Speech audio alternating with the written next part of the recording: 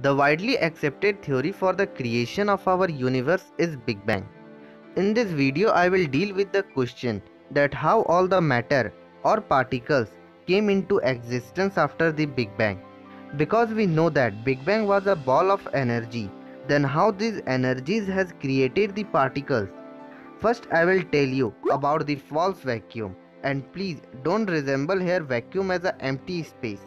After that I will discuss with you about some more theories.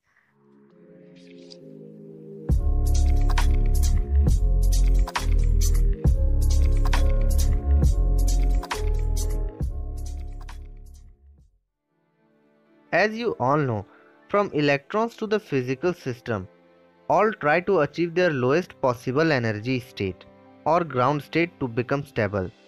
For example, if you pour water into a tub, there are lot of ways that the water could arrange itself, but it will rapidly try to assume the ground state.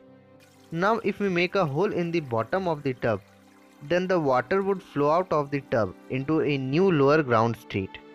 So we can say that water is always trying to assume the lowest energy level. The idea of energy levels and ground states applies to pretty much everything that includes electromagnetic fields and even particle fields where particle field is a quantum mechanical way of describing particles and each field has a pretty reasonable set of energy levels. So the vacuum is the most absolute ground state where no waves, no particles, nothing at all to elevate the energy above zero which led to a new theory as zero point energy or vacuum energy on which I have already made a video you can check it out it in the iCard.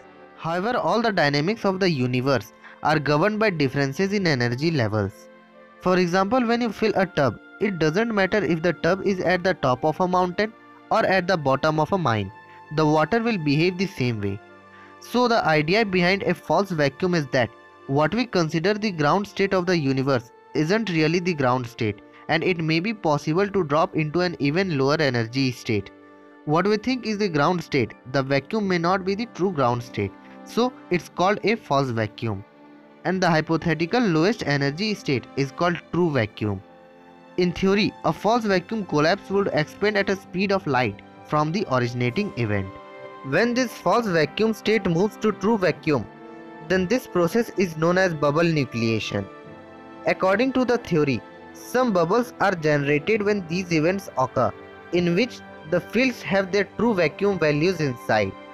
Therefore, the interior of the bubble have lower energy. So if there is any increase in size, it decreases its potential energy. It affects it in two ways. First, if the surface energy of the wall increases and second, the interior negative contribution of the fields which nucleate the bubble from inside and it expands the bubble with a speed of light or even faster and this expansion accumulates the kinetic energy on the wall of the bubble.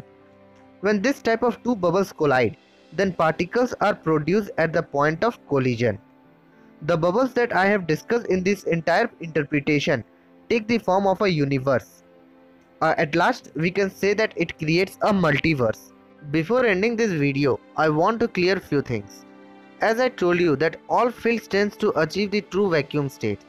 But in that case, we have to exclude the Higgs boson and we have to consider it is in the false vacuum.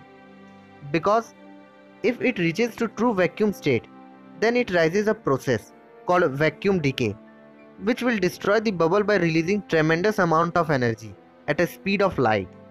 So guys that's all for today's video. At last I want to make one request to you that please watch my previous video. It is also very informative but you have not shown much response to it it told us about the time symmetry of the universe that why this universe follows time symmetry and why somewhere it is also broken.